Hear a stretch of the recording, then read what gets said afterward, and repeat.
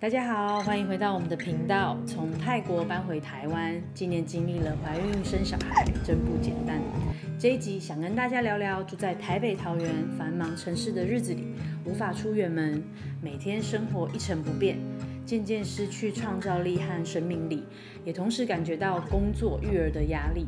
所以我们决定去探索新的地方，带着宝宝出发台东，让我们开始这段冒险吧。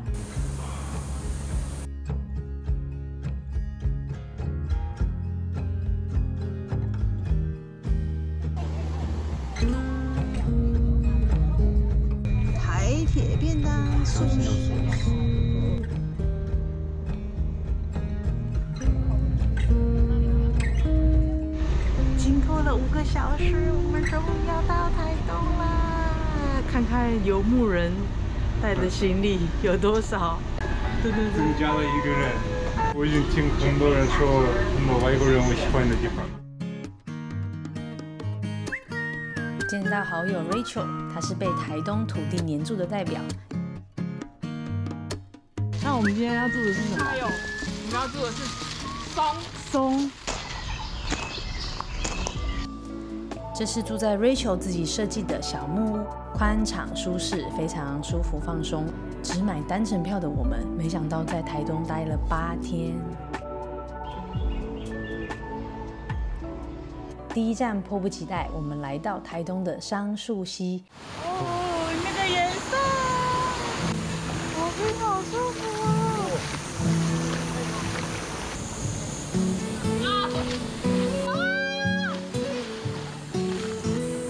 在冰凉的水中，感觉非常的平静和开心。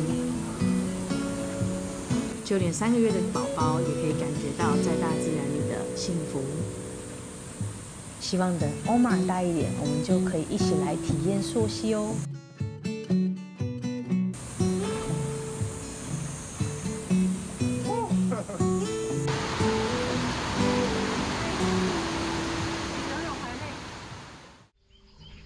第二天，朋友 Rachel 借我们一台可爱的小车，让我们探索这座城市。贝壳刚在台北拿到驾照，所以在台东开车是一种新奇和兴奋的体验。我们的目标是三仙台屿，途中也停了几个景点。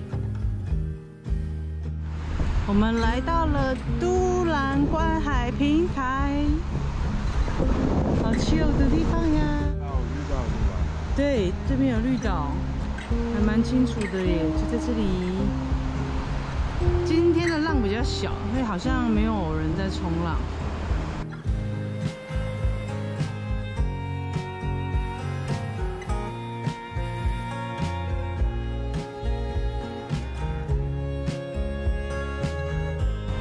Look at this。无尽的感觉，还超级的蓝。我们现在在台中市都兰往成功的方向，这个金樽的一个 view point，好漂亮。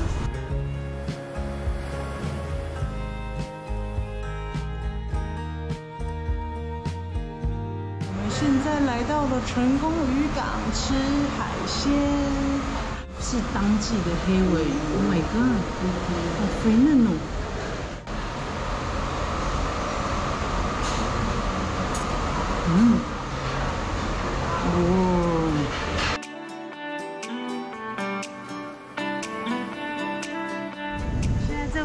仙台的方向散步，沿着海，有海风很舒服，但是防晒还是要注意。三仙台跨海步桥约有四百公尺，串起了陆地与峡角海湾。背着宝宝，两个人黏糊糊的，但吹着海风走在步桥，远眺大海，让人全身舒畅，快乐的想要奔跑起来。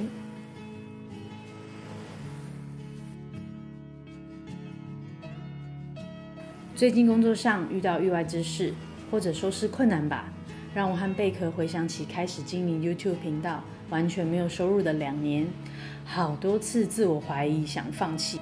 但因为住在小岛，认识一群很正向的朋友，冥想和大自然也帮助我们更确定自己喜欢做的事情，并坚持下去，不受他人和外界的影响，才有现在的贝壳卢比吉尔吉斯旅行社。吃冰的时间来了。来成功一定要吃的，Let's go！成功豆花热炸了，就来吃一碗豆花。我可以吃两碗吗？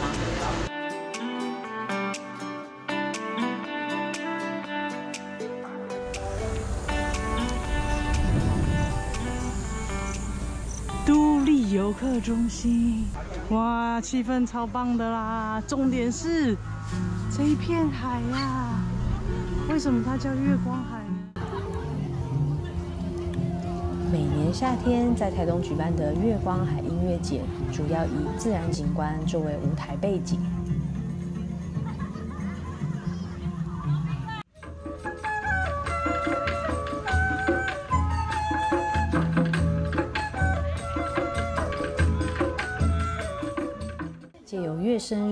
隐喻了大地艺术节想要表达的闲暇哲学。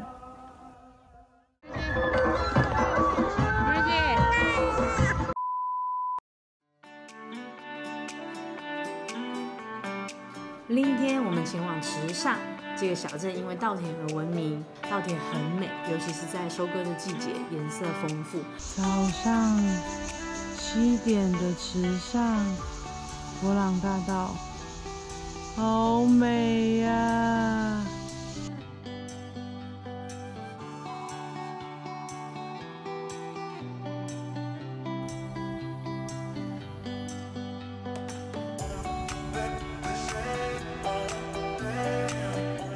我们还在池上尝试了新鲜的豆皮，这个是必吃的美食，非常美味。豆包一定要点，然后豆浆、泡菜，哦，最新鲜的了。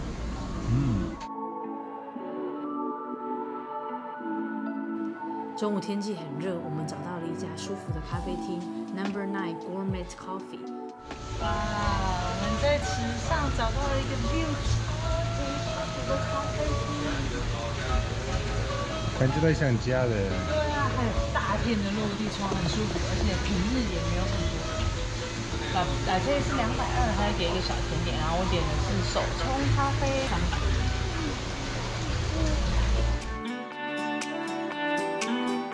回台东的路上，我们停在美浓冰品吃的冰淇淋。他们会有一些当地的水果的食材，超喜欢这里，就每次来就有一种很 chill 的感觉。豆浆乌龙，天气热的时候很爽。对啊，外面现在超级热的。椰奶跟榴莲，我来吃吃看。嗯，榴莲好吃哎，榴莲好 creamy 哦。离台东市很近的山园海滨度假村是我们最常去的海滩。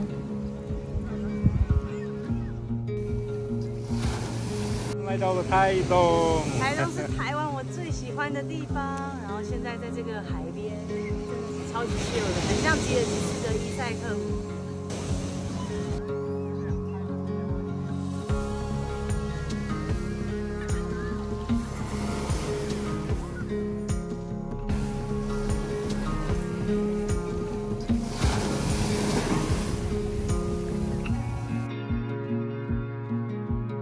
在台东市区，我们发现了一些美味的食物，也包括贝壳最喜欢的印度牛肉卷。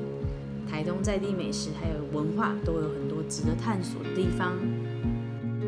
再来吃这家朋友很推荐的南王葱油饼，台湾人的葱油饼，好好吃哦！直接买一张。阿三哥臭豆腐，台湾完全不敢吃，但是有的还不错。真的哦。这份小份是五十块。没想吃臭豆腐。嗯，蛮臭的。好不好吃？嗯，臭臭。觉得好吃。没吃。在这个卑南部落有他们自己的路名耶，好酷哦！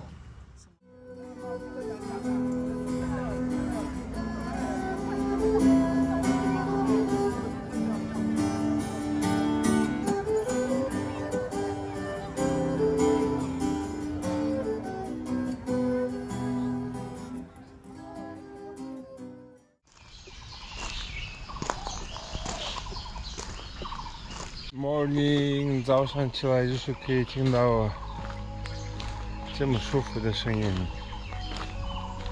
有的有的时候人们很适合来到大自然，让脑子就是给他一个休息。